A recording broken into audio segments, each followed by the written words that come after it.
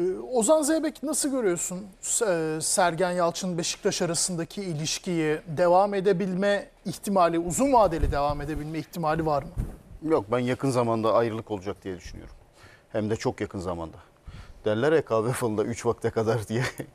ben yakın zamanda bu işin biteceğini düşünüyorum. Ayrılık olacağını düşünüyorum ama Sergen Yalçın'ın tekrar bir gün Beşiktaş'a geleceğinden eminim. Yani bir futbol sektöründen bu mesleği bırakmadığı sürece.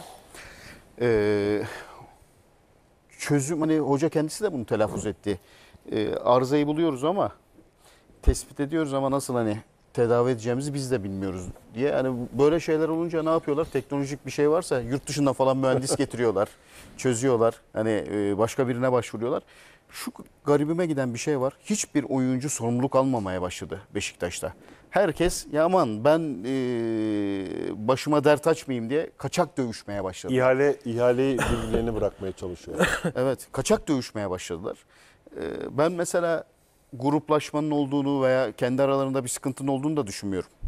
Ama bu bir motivasyon bozukluğu, şanssız bir dönem, dönem dönem bunlar olur. Bu çok uzun sürdü. Hani bunu 2-3 hafta yaşarsın, atlatırsın bir şekilde. Radikal bir karar arar- alırsın. Ee, bir e, çok böyle dikkat çekici bir hareket yaparsın.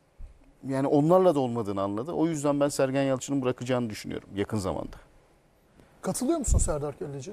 Yani tabii görünen bu ama bırakmalı mı? Bence bırakmamalı. Yani pardon, Beşiktaş Sergen Yalçın'ı bırakmamalı. Çünkü şimdi Fatih Terim örneği doğru örnek olmaz. Çünkü Fatih Terim Galatasaray'ı bıraktığında hep yukarıya doğru gitti. Yani işte milli takıma gitti. Ama o Fiorentina bak ben de gibi gibi. orada söyledim. Ee, o, o, ya bu Ozan çok da- konuşuluyor. Fatih Hoca ayrı bir kulvarda, Sergen Hoca ayrı bir Elbette. kulvar. O ayrı. Tabii Onlar ama ayrı. şöyle bir durum Sadece var. gidişli gelişleri Şimdi gibi.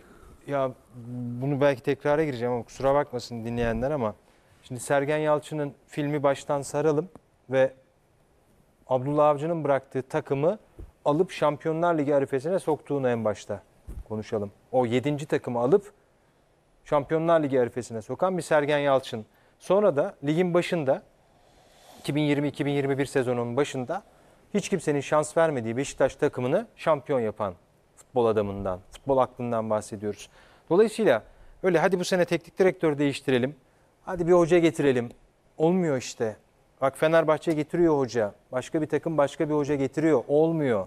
O kadar kolay değil. O takımın o bünyesinin tutması, o kimyanın tutması. Bugün futbolcularla ilgili çok güzel bir şey söyledi Serdar Sarıdağ'la Ozan Zeybek. Yani sorumluluk almayan oyuncular. Ya kardeşim tamam Sergen Yalçın'ın dolu hatası var da e siz de bir zahmet şu topu ayağınızı sokuverin ya. Serdar bir parantez açmak istiyorum. Tabii lütfen. Ben anlatamadım Sergen Hoca'nın neden bırakması gerektiğini sanırım. Çok iyi anladım. Hayır Bak. hayır hayır hayır, hayır. çok iyi anladım.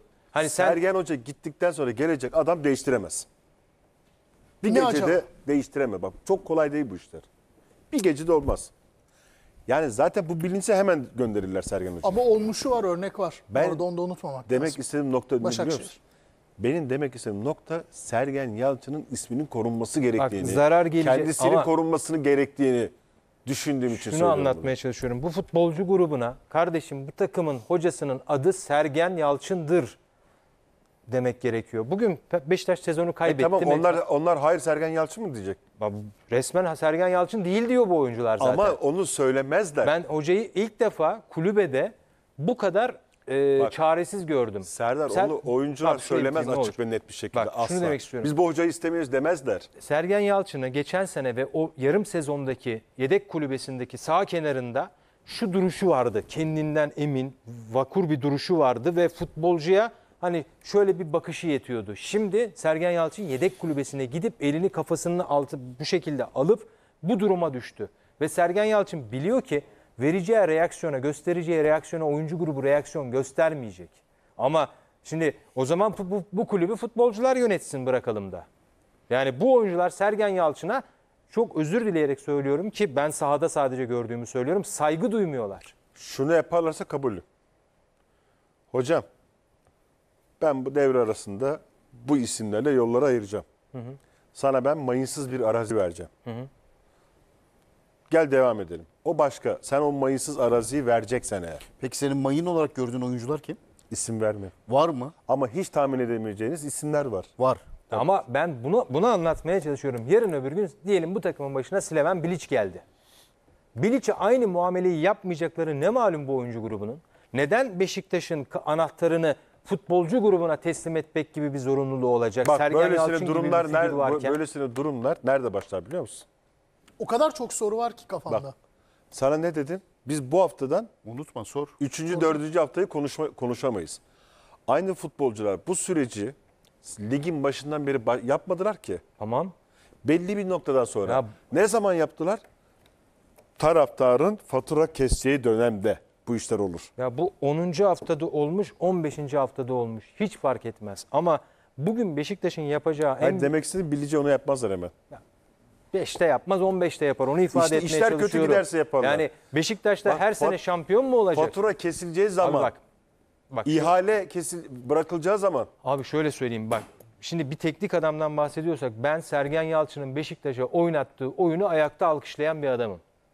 Ama bu sene Sergen Yalçın 15 hafta itibarıyla Beşiktaş'ı hiç beğenmiyorum. Ama Sergen Yalçın'la ilgili eğer ki biz 15 hafta sonunda bu kararı vereceksek eyvah eyvah demektir. Beşiktaş'a Serdar ben sana bir şey söyleyeceğim. Çok küçük bir şey söyleyeyim Sen mi? senin Se- haklı olduğun Serdar noktalar Sarıdağ. var da ben istikrardan yanayım o yüzden. Eğer takım, ben bunu dışarıdan e, biriyim, bilmiyorum senin kadar Beşiktaş'ın içini bilmem de e, imkansız. Bir takım bir hocayı istemiyorsa o hoca gider. Gider. Serdar. Ama bazen Bazen kendisi gider. sen profesyonel bazen futbol oynadın mı abi? gönderir. Hayır. Oynamadın Ben ama futbol profesyonel oynadın. futbol takımı Bak ben içinde bir yere bulunmuş biri olarak ben söylüyorum. de işte onu demeye çalışıyorum. Ben yıllardır kulüp takip takip ettim. Seyahatler. abi Ay, bir bak, şeyi takip ediyor olmamız onun doğru olduğu anlamına gelmez. sen de bu cümleyi noktalı virgülle kesersen cümlenin anlamını Abi ben bitirmedim anlamaz. ki deminden beri o yüzden. Bitirmedim bir türlü bitirmedim. Çünkü aradan Ama dolayı. televizyon Bir Serdar Keleci ben bitirsin. sen pas atmıyorsun. Abi anladım da ben şurayı ama bir noktamı Sen koyayım. pası. taktiğini yapıyorsun şu an. Öyle yok. Topu bana verin ben gideyim. Sen pas atmıyorsun. O zaman pas at. Öyle gidelim. Abi o zaman bir bitireyim onunla Tamam. topu ayağımdan bir çıkartayım. Tabii ki pası veririm. Asist de yaparım hatta hiç önemli değil. Topu sürüyor şu an. Ben topu daha sürüyorum. Taç çizgisi Sür kenarındayım. sağa bitti Serdar. Zaman sahayı bilmiyorum da Zaman zaman, bitiyor. daralıyor onu söyleyeyim. Ha buyurun o zaman. Yani Tamam. 86. dakikada Tamam, o zaman topu Hayır, verdim hayır, hadi, lütfen. pası vereyim. Lütfen hayır. Abi küseceksen Bak küsme Oyuna değil. küseceksen Bak, abi bak, küsme zaten değil. takım oyunu olmaz. Bak şunu ifade etmeye çalışıyorum. Bizim bazen doğru bildiğimiz şeylerin ben doğru olmadığını iddia etmeye çalışıyorum burada. Neden? Sergen Yalçın bugün 15 maç sonunda eğer bu karar verilecekse Sergen Yalçın'ı oyuncu grubu göndermiş demektir. Bunun çok yanlış bir şey olduğuna ifade etmeye ya bunun doğru olduğunu Bitti. söyleyen var mı? O zaman doğruyu yapalım diyorum Türk Ben sana ne diyorum biliyor musun? Bak ben niye dedim takım takip etti mi diye. Ben şunu söylüyorum. Ben, Abi ben fut- 85'ten bu yana ben de izliyorum. Bak Serdar izlemek başka, içeriği bilmek başka. Peki abi. Sen futbolcuları bilmezsin.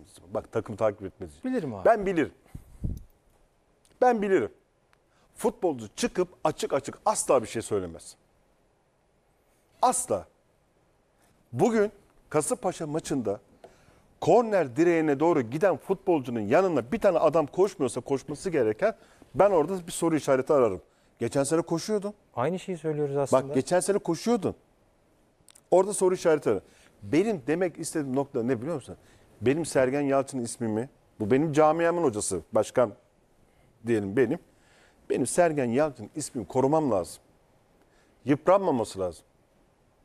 Hocam sen bir dinlen. Ben burayı toparlarım. Ben mayını araziyi temizlerim. Sen birkaç sene sonra gelirsin, devam edersin gene. Ben olmam, başka bir yönetici gelir ama seni bu taraftar getirecek bir gün gene.